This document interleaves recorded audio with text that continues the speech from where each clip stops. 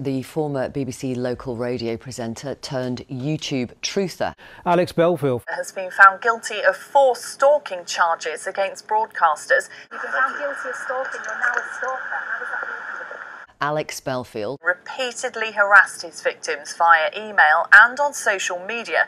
In relation to the theatre blogger Philip Dehany and the broadcaster Jeremy Vine.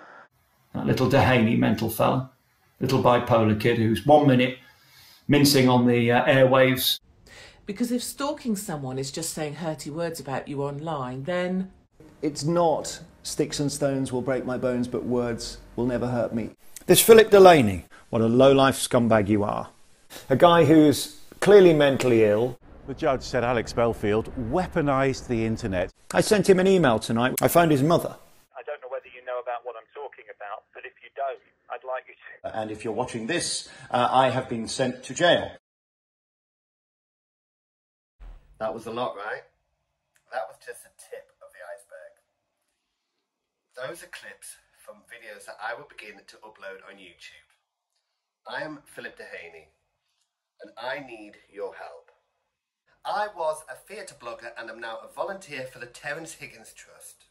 I need to raise money for legal fees, starting with £1,550 to claim compensation from ex-BBC presenter Alex Belfield, who harassed and stalked me and then threatened he'd be back. And as we know, I was sent to jail for stalking, two proper stalking and two half stalking, whatever that means. And they can punish me, they can send me away, they can gag, they can put restrictions, but they can't silence me. Uh, I sleep very well at night knowing who I am. I will never give in and I will come back bigger and stronger. I will be back. I am one of several victims who were harassed by ex-BBC presenter Alex Belfield, which led to him being jailed for five and a half years. After his trial concluded, but before he was sentenced, Belfield publicly revealed information about my HIV status. He'd had a terrible time, and I told the court I felt bad that he had a lifelong condition, that his career had ended, and he was living with his parents. I'm now claiming compensation from him in the civil courts under the Protection from Harassment Act 1997.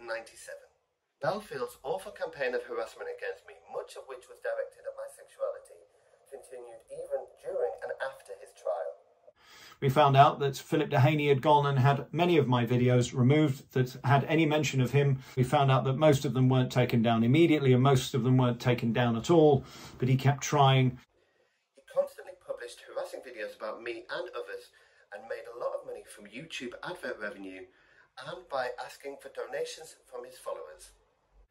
Philip Dehany, who is the worst scumbag of all, who said that I made him want to commit suicide at a time he couldn't believe how many people were tweeting him and saying, Oh, good for you, little Philip, like he's some lowly loser. Well, he is a lowly loser. That's proven by his stats. And of course, this was all virtue signaling to get attention on the back of my demise. This video is brought to you by our new sponsor, ReactivePlus.com. If you're looking for full spectrum, five star golden standard CBD oils, capsules, or vape, go to ReactivePlus.com. Please help me in the comment box below, the GoFundMe page, 100% refundable if and when we win. I don't want to make a penny.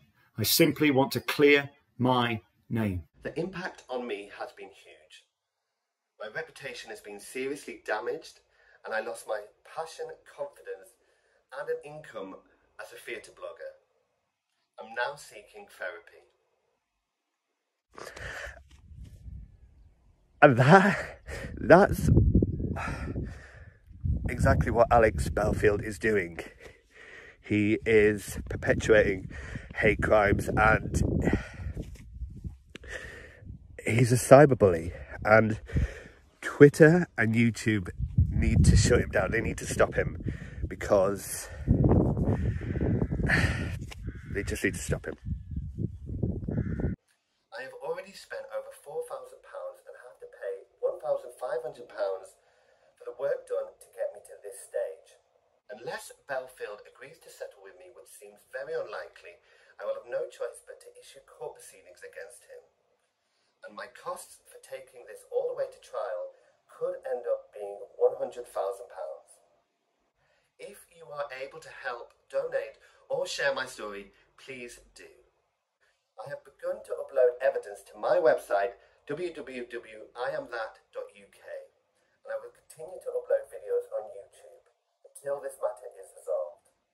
This is my chance to tell my side of the story, and I will share everything with you about what happened to me. If you have any questions, please do ask. Thank you.